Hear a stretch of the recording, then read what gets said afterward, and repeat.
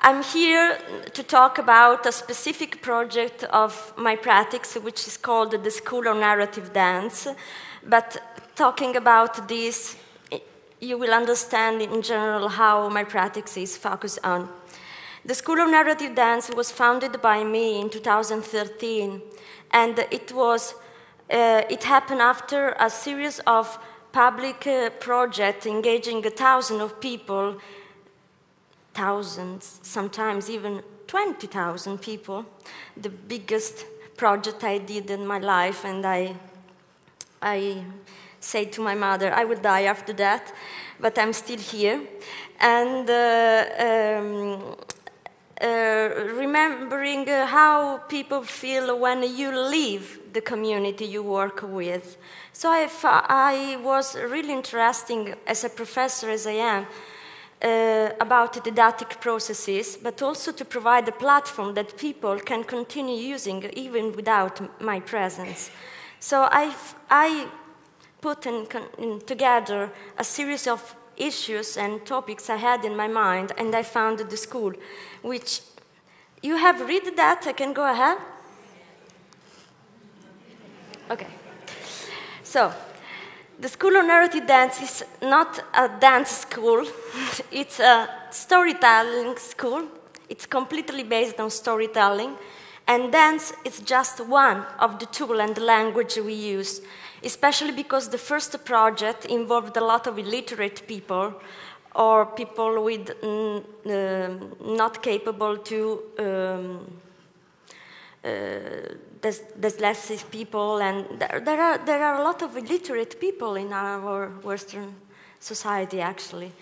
And uh, also because uh, we are very much convinced that the body keeps the memory of who you are, your environment, your experience. Uh, I'm not good in that, but my choreographer could say, just looking at you, a lot of things just looking at how you move your body and how, how you walk, how you sit, how you, you behave physically into the space. So, uh, the school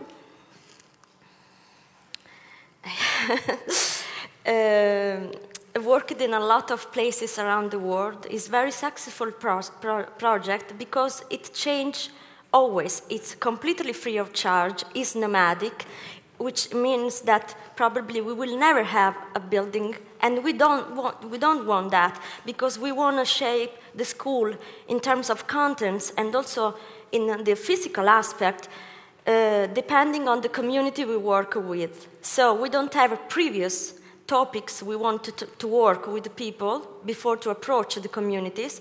And uh, often we are invited by institutions like uh, uh, museum a lot, but uh, uh, recently also councils and so on.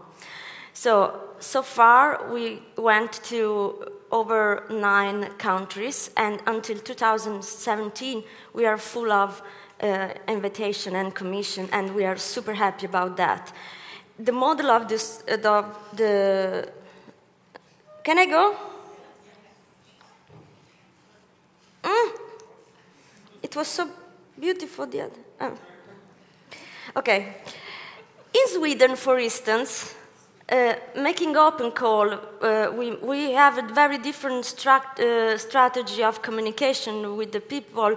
I uh, study a lot. I make documentation, living with the community for a while before to make a proposal, before to, to build and to run the School of Narrative Dance. So before to, before to start, and uh, depending on the response of the people, uh, we shape the contents also that the school will uh, will will uh, will work on. And uh, uh, there is a double way. for one part, the school is focused on on providing a wide range of experience of storytelling. You don't need to have degrees to be a teacher of the, of the School of Narrative Dance, but we have also scholar and Nobel Prize candidate, which are uh, sometimes teacher of our school. Always we found the teachers and of course the students in the location, so we don't have even I have a, a, a lot of assistants, which are all uh, former participant of other works, uh, we don't bring our, we are not abusive. That's the most important uh, fact.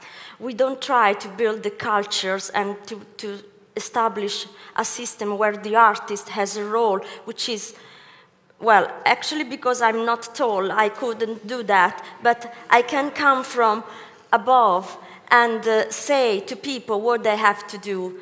The School of Narrative Dance is a clear example of horizontal system of education when the teacher is an activator of something and people can emancipate, students can emancipate themselves from the limit of the teacher. Actually, I feel my role as artist as an activator and I I'm small and bad, so uh, it doesn't mean that I don't have uh, uh, my part of egocentrism or authoriality. Of course, I feel an author. Because I activate that, I put these people together, community very different from age, background, uh, mm, environment, previous experience, stories, memory, personal memory, collective memory. And in Sweden, for instance, we worked in Malmo, Gothenburg, and Stockholm, and the people uh, responded to our uh, call were mostly political activists so, and uh, Syrian refugees. So the lessons were led by these people, and the students made this kind of experience, then translated in, in performance they made through uh, the different plays in the three uh, cities. And the final outcome, even I hate this word because for me it's the entire process, the work, not just the final, what we, we call the final outcome, but uh, uh the format we chose was a film. Sometimes we make things for radio, even using dance as tools. Sometimes I may, we made a performance uh, in theater, other times parade, like tonight, well, this evening, at half past ten at, at cross Riva de Martiri and Via Garibaldi. And yesterday I invited you to join, and you will ask me, You're crazy. We don't know what we have to do during this parade, no? Because there are dancers, all no professional. There are musicians, all no professional. There are a lot of people from Venice and abroad. And what can I do? You will discover it if you come. People will react to your presence in, in the parade it could be very interesting to feel their adrenaline and how they're interacting with you. Oh no. No, I have a lot of things to, to show. Oh. Okay. These are parade in Berlin, these are uh, with minus 10 degree, these are parade in Ecuador, and uh, um, all the time uh, what we do uh, oh, just one minute it's horrible. What we do okay i understood. Uh, and what we do i don't think i, I like you. So no no no i have seconds i have seconds i can se- seven seconds okay uh, half past ten, I, half past seven, half past seven. Thank you. My sister saves my life. Half past seven is the performance. And, uh, uh, okay, um, well, you can learn a lot of things in the School of Narrative Dance. You can negotiate what you want to achieve. You negotiate also which part of the school you want to leave, the, the part of the formation, the part of the training with dance. Yes, I'm finished. And the entire experience is pretty emotional, and it's also uh, the dignity of a lot of workers, uh, uh, activists, uh, people that use for the first time their body to tell stories. And I can tell you that I wanted, I'm crazy because making a parade in August in Venice with such weather, it's just for crazy people, as I am. But instead of talk about that, I wanted to show you what is the, the School of Narrative Dance in Venice, which is completely different from the School of Narrative Dance in any other place. I finish.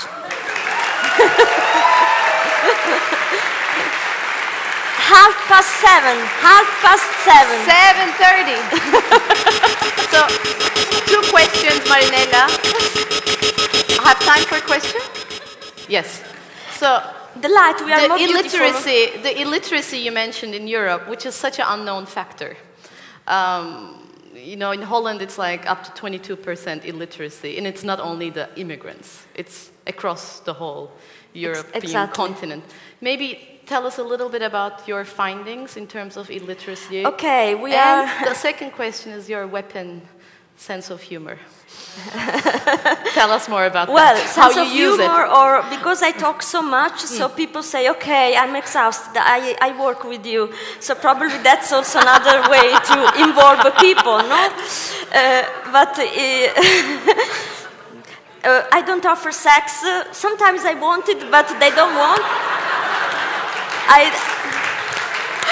I never, never offered money but they come. So they found they found a reason to come. And for me the response in this is the inclusion. They feel included in the project. They feel that we build the culture from and not from actually i can do more than this. And uh, but imagine that it's very high. I'm just an artist, so I don't know more than other people. I don't know more than a craft, than an, an literate, than um, un, uh, unemployed people, which very often are students or, or teachers of our school.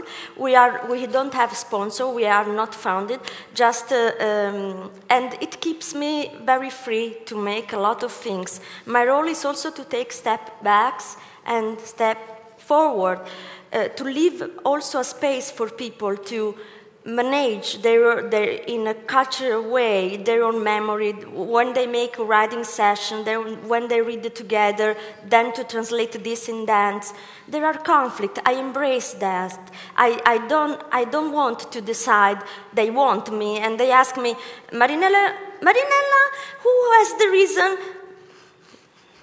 It's your your, your problem. Mm-hmm. And uh, in that moment, I have the privilege to experience a lot of social structure, humanity, compassion, which is an amazing word, not very cool in the art world, but I would like to start to tell that. Yeah, it's cool. Affection is cool.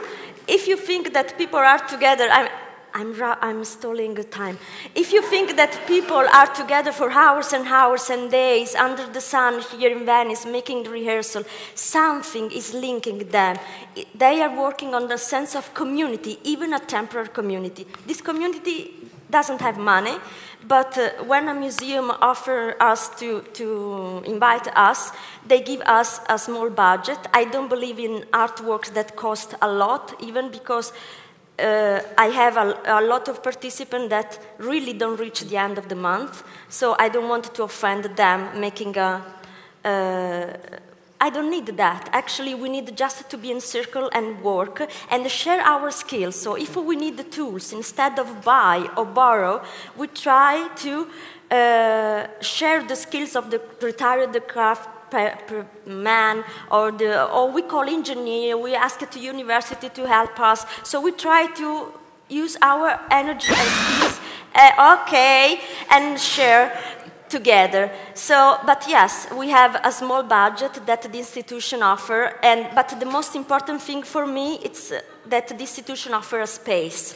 Anything you want to add for the illiteracy question or literacy? Illiteracy question. Illiteracy. Well Come on. The answer we need. There are a lot of illiterate people. Also, I, I really don't like this man. and uh, um, uh, uh, I like that uh, I have a very different strategy of communication. So very rarely I use, uh, depending on the community, but I like very popular uh, way of to communicate that the school is there and you can come and negotiate with us what we want, we want, we can do. So leaflet, megaphone on the street, knocking at the door of New York resident, as I did some times ago. So uh, um, uh, speeches, so uh, in sh- shopping center and so on. So we can uh, embrace a very wide range of people and illiterate people, illiterate people come very often. People feel a loser, like unemployed, come very often. And it's uh, a very important moment for them because they feel so proud of themselves because maybe their neighbors don't know that they are good making photo and suddenly they, disco- they discover that they are worthy for something Thank you. thank you very much